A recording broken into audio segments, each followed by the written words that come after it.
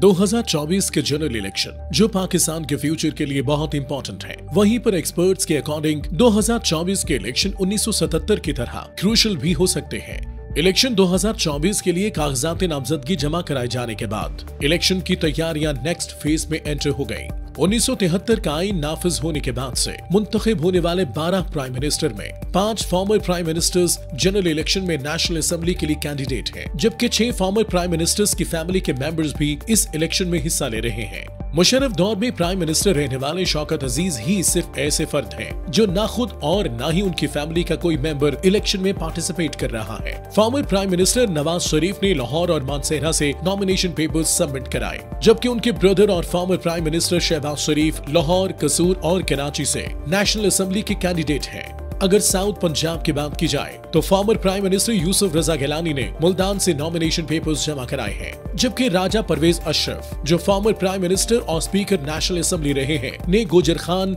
और इमरान खान ने लाहौर और मियावाली से नॉमिनेशन पेपर्स जमा कराए हैं। अगर इसी तरह देखा जाए तो इस बार इम्पोर्टेंट पॉलिटिकल लीडर्स के बच्चे भी इलेक्शन में पार्टिसिपेट कर रहे हैं। Former prime minister Shahid Khaqan Abbasi खुद तो इलेक्शन में हिस्सा नहीं ले रहे, लेकिन उनके बेटे नादर खाकान अब्बासी नेशनल असेंबली की सीट के कैंडिडेट हैं। पीपल्स पार्टी के दो former prime ministers Zulfikar Ali Bhutto के नवासे और मोहतरमा बेनजीर भुट्टो के बेटे। बिलावल भुट्टो जरदारी लाड़काना और लाहौर से नेशनल असेंबली का इलेक्शन लड़ेंगे। एक और former prime minister Mohammad Khan Junejo मरहूम की जगह, उनके बेटे असद जुनेजो सांगढ़ से नेशनल असेंबली के कैंडिडेट हैं। शॉर्ट पीरियड के लिए प्राइम मिनिस्टर की सीट पर रहने वाले चौधरी शुजात की जगह। उनके दोनों बेटे चौधरी सालक हुसैन गुजरात से नेशनल असेंबली और शाफे हुसैन प्रोविंशियल असेंबली के लिए कैंडिडेट हैं। जबकि मुशरफ दौर में ही पाकिस्तान के प्राइम मिनिस्टर रहने वाले मीर जफरुल्ला खान जमाली के बेटे मीर जमाली जाफराबाद से नेशनल असेंबली की सीट के लिए बतौर उम्मीदवार सामने आए हैं। पीएमएलएन के कायद नवाज़ शरीफ की बेटी मरियम नवाज़ भी अपने सियासी करियर का फ़र्स्ट इलेक्शन लड़ेगी।